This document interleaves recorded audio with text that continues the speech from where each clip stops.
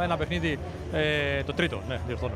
Ένα παιχνίδι σήμερα το οποίο το διεκδικήσαμε απέναντι σε μια πολύ καλή ομάδα όπως είναι η Πορτογαλία. Πώς το βίωσες εσύ; Ξέραμε ότι οι Πορτογάλοι έχουν μια πάρα πολύ αθλητική ομάδα που θέλει να τρέξει. Ε, μετά το αποτέλεσμα του προηγούμενου παιχνιδιού απέναντι στην Πορτογαλία θέλαμε να κατεβάσουμε αυτούς τους ρυθμούς, το transition ε, ε, και να προσπαθήσουμε να κοντρολάρουμε κάπως το παιχνίδι.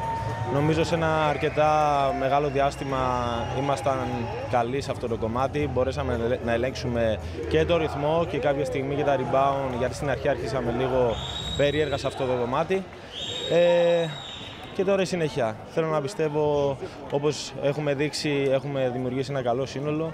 Ε, σίγουρα είναι αρχή ακόμα, αλλά αυτό που βλέπω μέσα στα ποητήρια υπάρχει μια απογοήτευση στο ότι φτάνουμε μέχρι την πηγή και δεν πίνουμε νερό. Αλλά εγώ το παίρνω θετικό αυτό γιατί είναι κάτι που δείχνει ότι νοιάζει και εμένα και τους συμπαίκτες μου και το προπονητικό staff. Ε, και αυτό σίγουρα θα μας πεισμώσει και θα δουλέψουμε ακόμα πιο πολύ για να μπορέσουμε να φέρουμε νίκες. Ευχαριστώ πολύ, Αντρέα. Να είσαι καλά.